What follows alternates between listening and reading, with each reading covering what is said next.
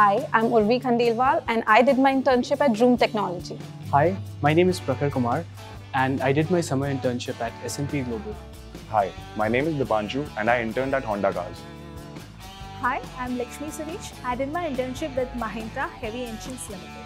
Hi, I'm Aman Chaudhary and I did my internship with Deloitte India. Hi, my name is Pragati Saxena and I did my internship with Reliance Retail Limited.